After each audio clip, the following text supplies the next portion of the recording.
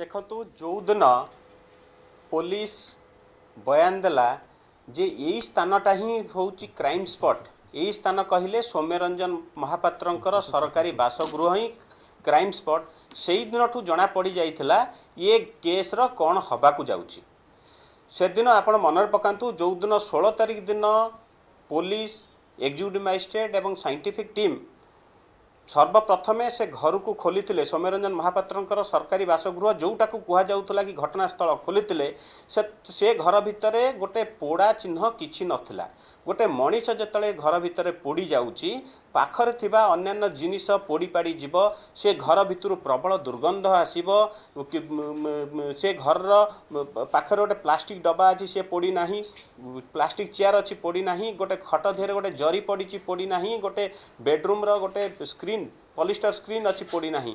ଏସବୁ କଥାକୁ ଦେଖିକି ସେଦିନ ଅବଜେକ୍ସନ୍ କରାହେଇଥିଲା ଯେ ଏ ଘରଟା ଗୋଟେ ପ୍ଲେସ୍ ଅଫ୍ ଅକରାନ୍ସ ନୁହେଁ। ସର୍ବପ୍ରଥମେ ପୋଲିସ ସେଇ କଥାଟାକୁ ଖଣ୍ଡନ କଲା ଖ- ଖଣ୍ଡନ କରିକି କହିଲା ଯେ ଏଇଟା ହିଁ ପ୍ଲେସ୍ ଅଫ୍ ଅକରାନ୍ସ ସେଇଦିନ ଠାରୁ ଏଭିଡେନ୍ସକୁ ମାନେ ୱାସ୍ ଆଉଟ୍ କରିଦେବା ପାଇଁ ପୋଲିସ ତରଫରୁ ଯୋଜନା ଆରମ୍ଭ ହୋଇଗଲା। ତା ପରବର୍ତ୍ତୀ ସମୟରେ ଯେତେବେଳେ ଆପଣ ଦେଖିବେ ସୌମ୍ୟରଞ୍ଜନଙ୍କ ପତ୍ନୀ ବିଦ୍ୟାଭାରତୀ ତାଙ୍କୁ ଯେତେବେଳେ ପୋଲିସ ଜେରା କରିବା ପାଇଁ ଗଲା କପ୍ତିପଦାରେ ପହଞ୍ଚିଲା ଏବଂ ସେଠୁ ଫେରି ଆସିଲା ଯେ ଆମେ ସାଟିସ୍ଫାକ୍ଟୋରି ସବୁ ଆନ୍ସର ପାଇଗଲୁ।